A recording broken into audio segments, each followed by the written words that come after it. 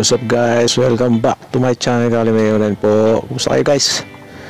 At ah, salamat sa inyo at nandito kayo. Alam nyo guys, special tong ah, magiging content natin ngayon at muli ah, meron ulit akong natuklasan sa year 2018 na 1 piso coin ah, new generation currency. Ayan. At ah, bago lang tayo magpatuloy guys sa Ah, kung bago pa lang, sa mga bago lang dito sa ating channel, pagtapos nyo mapanood, uh, pakisubscribe ating channel at pindutin ang ah, notification bell para palagi kang ah, updated at ikaw ang mauuna sa ating mga impormasyon na ating inihahatid araw-araw.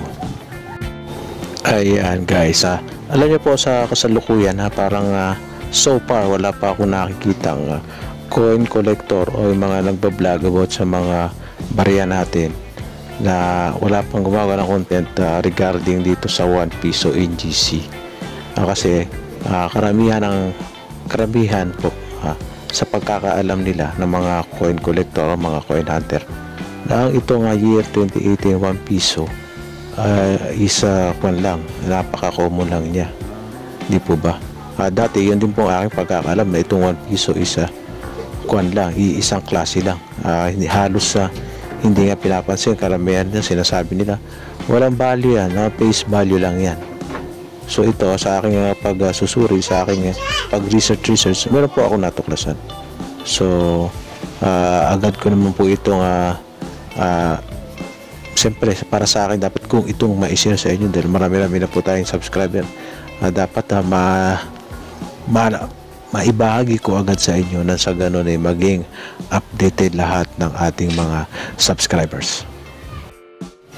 Ayan, ayan guys. At uh, akin po tinatawagan ng pansin ang mga coin collectors dyan. Alam ko po meron din kasi mga malalaking channel dyan. Yung mga coin collector na nanonood ah, sa ating channel pero hindi po sila nagko-comment. So ako po ay nakikiusap ah, dito sa aking magiging content ngayon na tulungan niyo po ako Ah, mag-comment po kayo kung ah, ah, tama ba o mali itong aking uh, comment kasi ah, guys ah, sa Numista ah, yung mga impormasyon po dyan is accurate naman po yan website pong malaki yan eh hindi naman po po pwedeng ah, gagawa sila ng website lang para lokohin ang mga tao pagdating sa mga barya natin. So ayan, comment po kayo guys ha, yung mga malalaking uh, coin channel dyan. Kung kayo ay mapadaan dito sa ating ch- channel. Kaya ayan guys ha, bago tayo pagtuloy-tuloy guys, ah, check nyo muna inyong mga 1 piso. Alam ko marami kayong 1 piso dyan na year 2018. Marami kayo dyan. Pero ang tanong guys, ah, ito nga yung discuss natin ngayon. Ang tanong, yung mga mga 1 piso nyo dyan is ah, kasi sa akin nga natuklasan, meron tayong ah, ah, apat na klase pala itong ah, ah, 2018 1 piso na ito. Tulad ng sabi ko kanina sa ating pagkakaalam, ito ay i- common. Oo, common nga ito. Pero siyempre, ah, yung common na ito, itong umiikot sa sirkulasyon na common, ito, ito po nakikita nyo sa screen. Ayan, marami pa akong ganito eh. Kaya na, ah, sinuri ko na yan isa-isa. Pero sa akin pagsuri, lahat ito, lahat ng akin na, ito nakikita nyo, apat lang naman to. Meron pa po ako nakatabi ron. Halos pare-pareho siya. Pero doon sa numista, yung uh, pinakita ng numista, ayan, ayan ang ating, ah, kaya tatalakayin nyo, kaya tumuto kayo, huwag kayo mag skip pa. Ah, sulitin ninyo sapagkat bibigyan ko ulit kayo ng impormasyon na inyong malalaman na hindi pa ginagawa ng ibang mga coin channel. Okay guys, ito dumiretso na ako sa Namista pero hindi natin ah, hindi tayo pagpo-focus ngayon sa kanya mga pictures ah, sapagkat ah, sabi ko kanina ah, i-discuss na natin diretso yung apat na klaseng ah, aking sinasabi natuklasan ngayon dito sa 2018 na NGC na ito. So ayan, aayusin ko lang muna. Okay guys, ito na tayo. Mag-focus muna kayo ha. Ah, kailangan ko yung attention dito ngayon guys ah, para hindi masayang ang ah, pagpunta nyo at panonood sa ating channel. Year 2018 na ah, NGC, New Generation Currency. Ito pang nasa unahin ito, yung 2018 na to, 84%. ah. The mint mark is near the word mark o Ceresar. So ayan po ang ah, 1 piso na akin din nga hinahawakan ngayon. Ah, pansinin nyo yung inyong coin kung ganito. Ayan, papakita ko natin yung detalye. Yung mint mark po, andun po halos katabi ng ah, pangalan ni Jose Rizal. Ayan po, meron siyang value rito. Ah, ayan, the mint mark is near the word mark. Sa verifying condition is at at 3.41 pesos, extra fine 42. Ah, almost or about uncirculated is 40.40, uncirculated 45.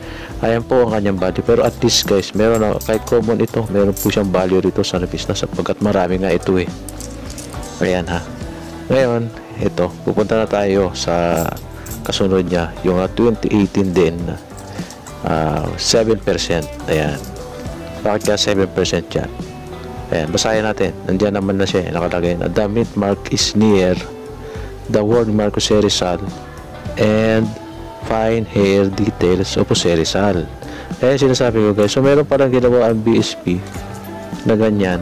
ah, yung uh, mint mark katabi ng pangalan ni Jose. Pero yung buhok po, yung detalye po ng buhok ni Jose Rizal, ah, ayan, hair details of Jose Rizal, fine hair details. So, meron pong ginawa na 2018 na ang buhok. Papansinin nyo agad guys, kung marami kayo dyan, i-compare-compare nyo, pagkumpara-kumparahin ninyo, ah, yung ah, buhok, yung pagkakaayos ng buhok ni Jose Rizal, ah, maganda. Ibig sabihin siguro yun, ah, klarado, o yung mga hibla ng buhok ni Jose Rizal dyan, ay ah, maganda. So, ayan, yung pangalawang klase ng ating ah, 2018 na 1 piso. At mapunta naman tayo guys sa pangatlong klase nitong 1 piso na to na NGC nito. 2018 pa rin syempre. Ayan na, basahin na lang natin para mas maganda. The mint mark is near the word mark. So pareho lang yung mint mark niya. Aros katabi pa rin ang pangalan ni Jose Rizal. Pero, uh, and the fine hair details of Jose Rizal, Prost. So ayan guys, Prost siya. Parang uh, yung Prost type na yan, yun yung tinatawag na ano eh, kakaiba yung kinang nito mga prosta uh, coin na ito. So ayan wala kasi ako mapakita example sa inyo kasi sa kasalukuyan nga wala pa akong hawak nito. Kaya ayan uh, kayo sinasabihan ko kayo na kung meron ka dyan marami kayong mga 1 piso na NGC na 2018 uh, suriin nyo na po habang ito habang uh, na nakukuha nyo na po yung impormasyon na aking binibigay sa inyo. Isa-isahin nyo po yan.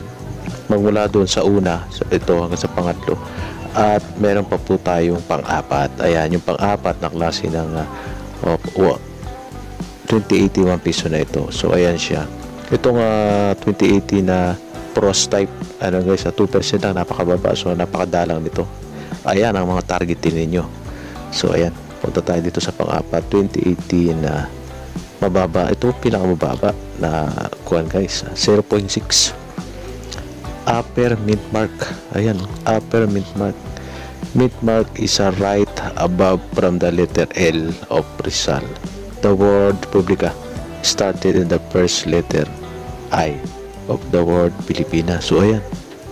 So grabe ito guys no? Uh, hindi natin inaasahan hindi ko rin inaasahan ito na mayroon palang ganito na apat na klase na 2018 sa ating pagkakaalam po lang ito. Napaka-common lang yun pala. Hindi natin alam eh, baka yung ating mga nahawakan ng mga nakaraan eh, iisa na pala rito. Pero ngayon at least alam na natin. Pag may nahawakan kayo agad suriin nyo agad guys. At uh, pag nakita nyo yan itabi nyo na agad yan dahil balang araw unti-unti nang matutuklasan ng mga coin collector itong ating tinatapik. Kaya maaaring karamihan sa mga coin collector hindi pa nila ito alam kasi karamihan sa mga coin collector nagbabase lang sila sa agos ng kalakalan dito sa mga ayun lang ah. kung ano lang yung uh, uh, familiar sa kanila yun lang din ang kanilang uh, ginagawa yun lang din ang kanilang kinokoleksyon. Pero ito sa mga die type yung mga reverse reverse na yan. Ayan so ayan meron na naman tayong bagong idea dito. Upper mint mark mint mark is right above from the letter L of Rizal the word the Republic started in the first letter I of the World Pilipinas. Baka isipin nyo guys yun yung uh, 2019 na ang mint mark is nasa tas hindi po 2018 po itong ating uh, tinatapik. Kaya pinakita ko naman yung picture ng kanyang mint mark. So ayun guys, sa tingin ko na ibigay ko na lang uh, uh, lahat ng impormasyon sa yung apat na klase nitong year 2018 na 1 piso na NGC. So alam ko, ako na mismo magsasabi sa inyo, alam ko makakatulong sa inyo to sa pangunguliksyon nyo. Huwag kayo magbase lang, kahit hindi sa piso, huwag kayo magbase lang sa year. Magsuri kayo kung yung mga klase-klase niyan. At ah, sa sarili nyo, kaya ninyo yan. Ha? Guys, so ayan, maraming maraming salamat muli sa inyo panood. At sa mga bago dyan, huwag po kakalimutan mag-subscribe. At uh, pindutin yung notification bell para palagi kang updated. So until next time po. God bless you all. I'm out.